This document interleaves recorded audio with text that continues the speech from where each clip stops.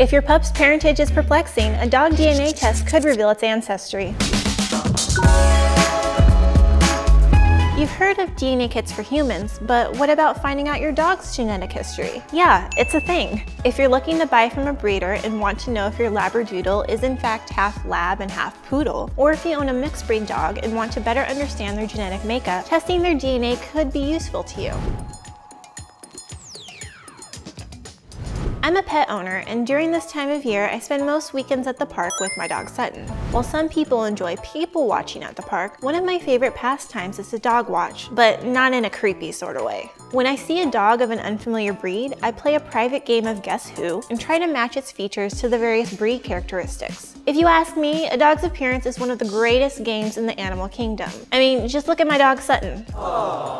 The most accurate way of finding out your dog's breed is to look into a dog's DNA kit. Dog DNA services provide detailed information about your pet's specific genetic makeup, whether it's actually the half dachshund, half corgi you always thought it was, or if it's something else entirely.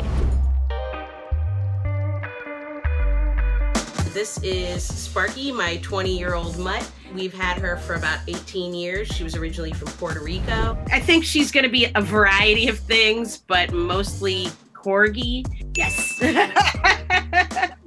My dog's name is Swanson. I adopted him a little over five years ago from a nonprofit called Colorado Puppy Rescue that got him from New Mexico. I'm gonna say German Shepherd. Nice. To untangle the complex information hidden in your dog's genetic code, laboratories collect samples from a subject and load that information onto a DNA reader known as a chip.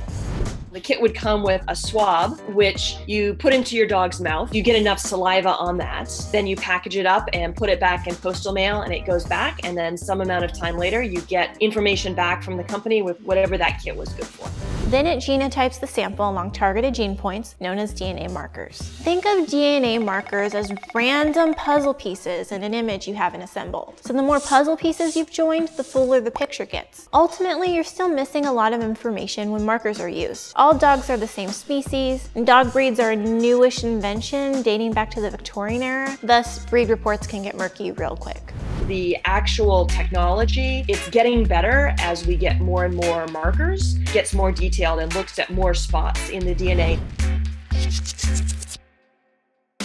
If you're looking to buy a dog from a breeder, free DNA kits can be useful for confirming what the seller is telling you before dropping loads of cash on a pup. Some of the kits also offer health assessments and can tell you if your dog is a carrier or is at risk for developing inheritable diseases. Genetics experts caution pet owners that the results from consumer brand genetic tests can leave substantial room for interpretation. So take them with a grain of salt and consult your vet before making any life-altering decisions. No matter if they're mutt, mixed breed, a shelter dog, or a designer dog, a dog DNA test can give you a clearer idea of who they are by giving you a window into their ancestry. Good job, Sutton. You're the best. You're the best. We're looking at. See. See. cool.